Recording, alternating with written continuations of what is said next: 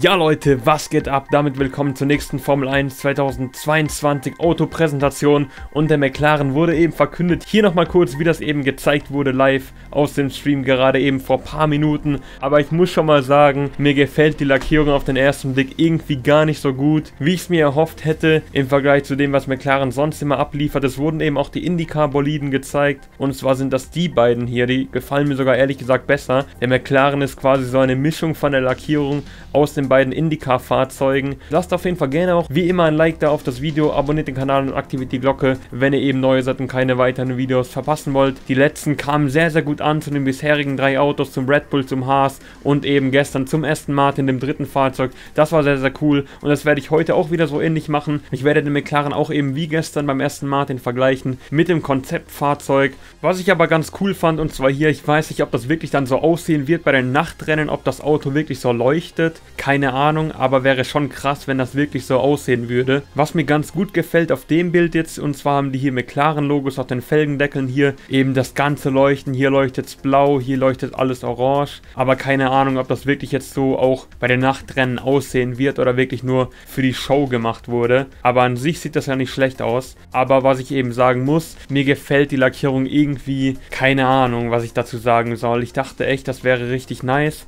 Man hat eben so ein bisschen die Mischung gemacht von letzter letzter Saison mit der Gulf-Lackierung und eben mit der restlichen Lackierung, die sie hatten. Aber irgendwie, irgendwas stört mich daran. Ich weiß nicht genau was, aber irgendwie stört mich, dass halt diese Farben Orange, Hellblau und Schwarz so auf einem Auto sind. Und zwar bei dem Indica hier zum Beispiel ist es eben zum Großteil Schwarz und Orange. Und hätte man das auch so gemacht, wäre es richtig geil. Oder hätte man eben den anderen Weg gewählt, Hellblau und Orange, wie bei dieser Gulf-Lackierung, wäre es auch richtig geil. Aber das in Kombination, keine Ahnung Leute, finde ich irgendwie gar nicht so nice. Hat meine Erwartungen auf keinen Fall erfüllt, aber was ich cool finde, die neuen Anzüge, jetzt eben schwarz-orange, sehen nicht schlecht aus, aber der Wagen an sich ist jetzt von der Livery her, sage ich jetzt mal eine 6 von 10 würde ich dem Auto vergeben. Bisher die anderen Fahrzeuge, es kommt auf jeden Fall sowieso noch in einem separaten Video, wo ich das Ganze eben bewerte. Der Aston Martin auf jeden Fall der coolste von der Lackierung her bisher, meiner Meinung nach.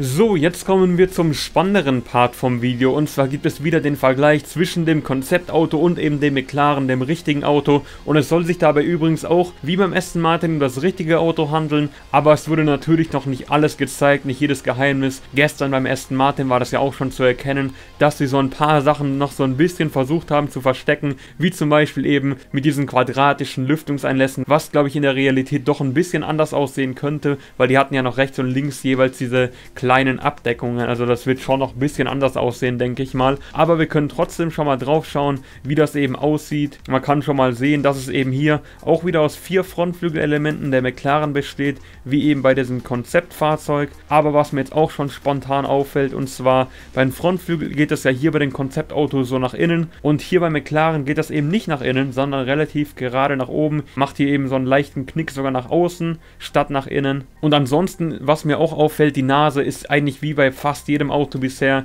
deutlich schmaler nach vorne hin. Und zwar bei den Konzeptfahrzeugen wird es ja hier sogar noch ein bisschen dicker ab diesem Punkt ungefähr. Und bei dem McLaren wird es eben schmaler, schmaler, schmaler bis ganz nach vorne. Ansonsten hat man sich hier relativ stark am Konzeptfahrzeug orientiert mit diesen kleinen Einlässen beim Frontflügel. Aber da schauen wir auf jeden Fall bei den nächsten Bildern noch genauer drauf, weil ich denke, da gibt es schon noch bessere Bilder. Okay, jetzt kommt direkt die Seitenansicht. Dann schauen wir mal in die Seitenansicht, was eben als nächstes kommt. Und da sehen wir auch schon, dass wie gesagt der Frontflügel relativ ähnlich aussieht wie der vom Konzeptwagen. Also ich denke mal, dass es noch nicht ganz die finale Version sein könnte, weil es sieht schon sehr ähnlich aus wie das hier, dieser Bereich vom Konzeptfahrzeug. Ansonsten, ich weiß nicht wieder, ob das an der Perspektive liegt, aber irgendwie kommt mir das so vor, als wäre der Frontflügel schon relativ weit über dem Boden. Beim richtigen McLaren sieht der Frontflügel dagegen aber echt gerade aus, nicht so wie beim Konzeptfahrzeug, was eben hier so den Anschein macht, als würde das eben noch so ein bisschen sich nach unten neigen. Ansonsten das Design der Felgendeckel gefällt mir ganz gut bei McLaren auf jeden Fall hier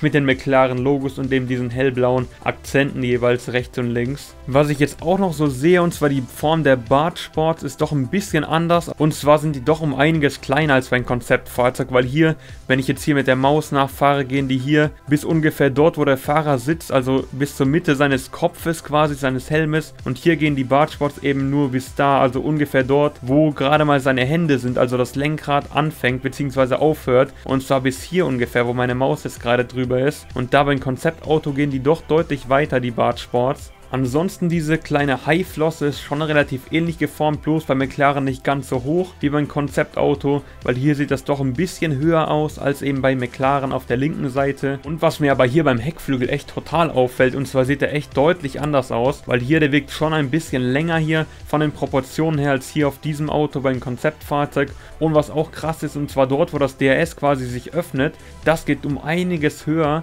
als eben hier beim Konzeptfahrzeug. Ist gar kein so großer Unterschied nach oben zum DRS, aber hier ist das echt ein sehr, sehr großer Unterschied. Und eben dieses kleine Teil, ich weiß nicht genau, was das ist, das ist eben beim Konzeptauto gar nicht vorhanden. Über diesen Streben befindet sich eben bei McLaren hier noch dieses kleine Teil. Kann auf jeden Fall gerne jemand reinschreiben in die Kommentare, wer es eben genauer weiß. McLaren jetzt eben auch mit Velo als Hauptsponsor, beziehungsweise hier eben ganz großflächig auf den Seitenkästen. Finde ich, um ehrlich zu sein, nicht ganz so schön, als eben zum Beispiel Gulf, was ich sehr, sehr cool gefunden hätte, ist eben leider nur ganz klein hier auf der Seite. Und was der McLaren im Gegensatz zum Aston Martin eben nicht hat, oder auch eben nur noch nicht für uns verrät, ist eben, dass gar keine Lufteinlässe vorhanden sind. Die waren ja gestern beim Aston Martin sehr, sehr groß und hier sind die eben beim Konzeptfahrzeug auch vorhanden, aber bei McLaren zum Beispiel noch gar nicht. Und dann würde ich sagen, geht es weiter mit dem nächsten Bild. Okay, das ist das hier. Das müsste ungefähr die Perspektive hier sein, bloß eben spiegelverkehrt. Was ich jetzt hier auch besser erkennen kann, und zwar ist der Frontflügel auch relativ stark hier vorne geschwungen. Und zwar eben hier beim Konzeptfahrzeug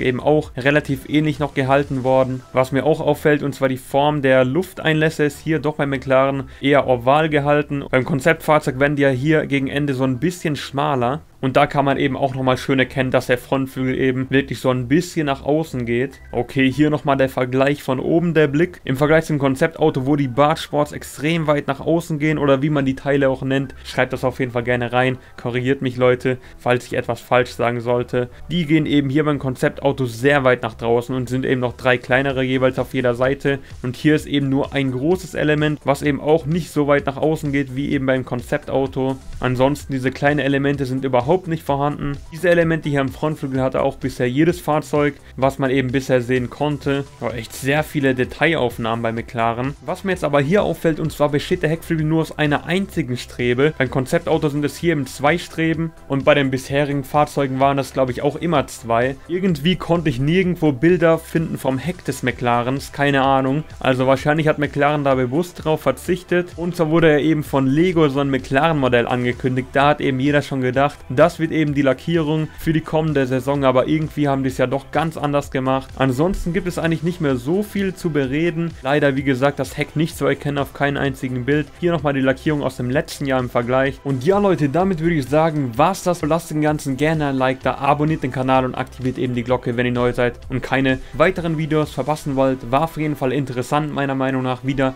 der McLaren jetzt eben hier, der neue, leider eben nicht ganz so meine Erwartungen erfüllt von der Lackierung her. Ansonsten bin ich mal gespannt, wie der Wagen dann tatsächlich aussehen wird. Insgesamt soll es aber eben auch schon wirklich das richtige Auto sein. Mal schauen, wie viel sich da noch ändern könnte. Das sehen wir dann in ein paar Wochen, wenn eben die ersten Testfahrten anstehen. Also Leute, damit war's das. Habt noch einen schönen Tag. Haut rein und ciao.